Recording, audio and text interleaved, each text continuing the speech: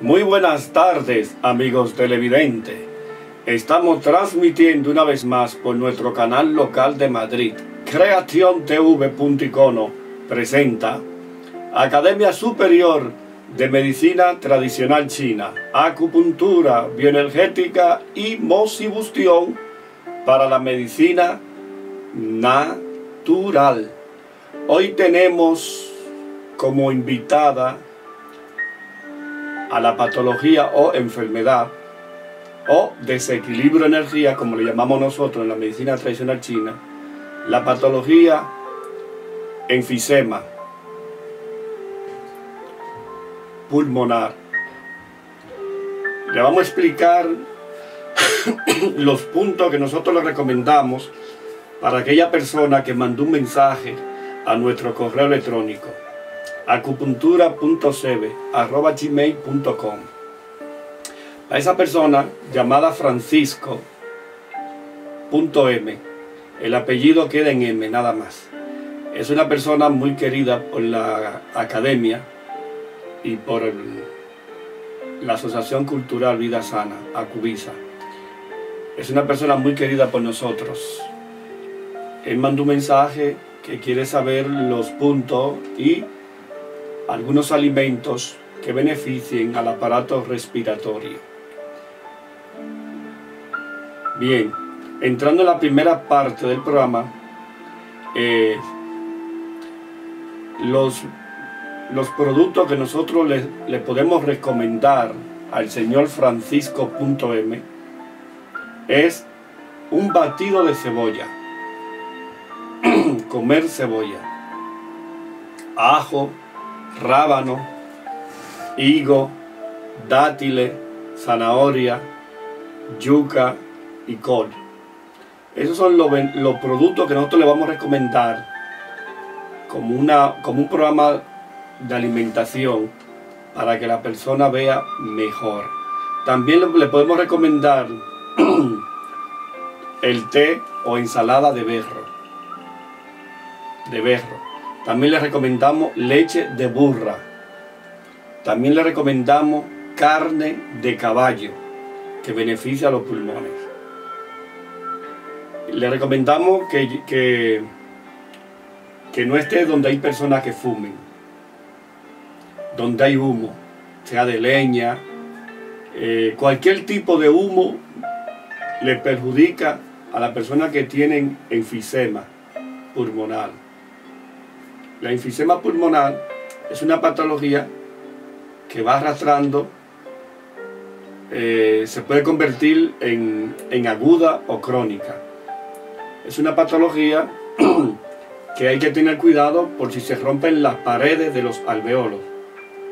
¿eh? Los bronquios, ellos almacenan el oxígeno cuando pasa por ahí y tienen que pasarlo al corazón para que el corazón haga circular la sangre cargada de oxígeno.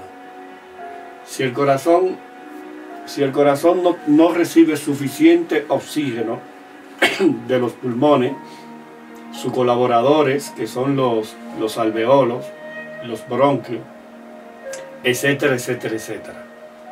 Es un conjunto de, de colaboradores.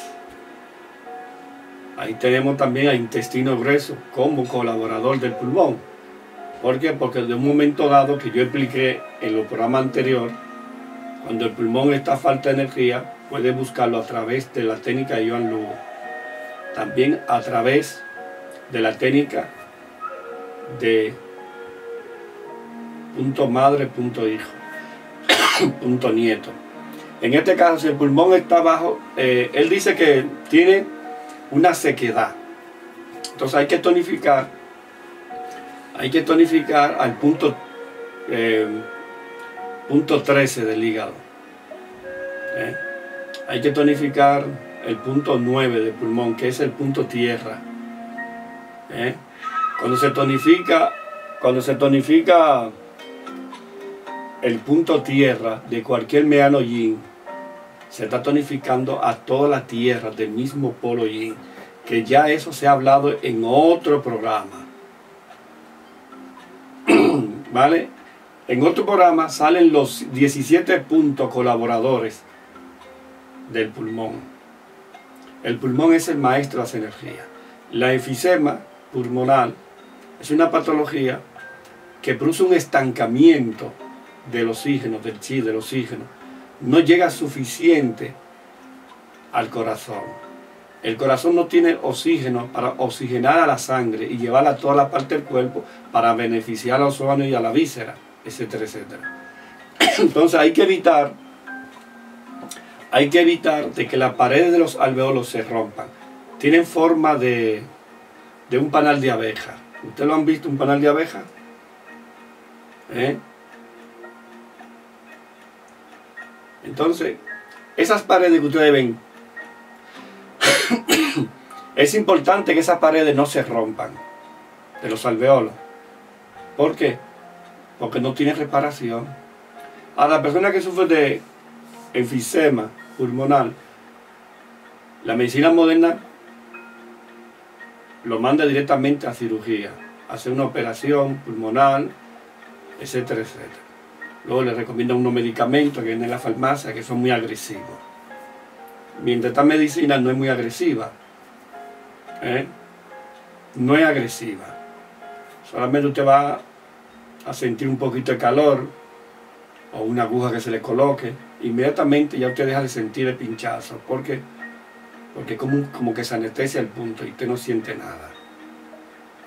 Eh, la efisema pulmonar es importante tomarla a tiempo, porque cuando está muy prolongada puede ser que se rompan las paredes de los alveolos. Entonces, ya ahí se complica la patología. Entonces hay que buscar la forma de que esa patología, enfisema pulmonar, no se prolongue demasiado. Usted va a la medicina moderna y por ejemplo usted van hoy. hoy es jueves, 6 de, de marzo de, 2014. Y le hacen los análisis, que si o le, le, toman esto, le ponen esto, para allí para acá, y le dicen, venga dentro de tres meses o un mes. Ejemplo, cuando usted va con la efisema pulmonar, ya la efisema pulmonar está muy prolongada, ya es una patología adulta. Adulta quiere decir que se le ha dado demasiado tiempo. La persona se cansa, la persona no respira bien, se levanta, ¿eh? No tiene esa, esa energía, pierde un poco la hace así y quiere respirar profundo para cargar los pulmones de oxígeno. Se está hablando de los pulmones, se están hablando de todas las partes que compone el pulmón.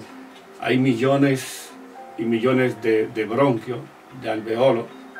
Entonces, esos bronquios y alveolos, es importante que los alveolos no se rompan, que ya lo he dicho varias veces. A ver si cogen cabeza ustedes.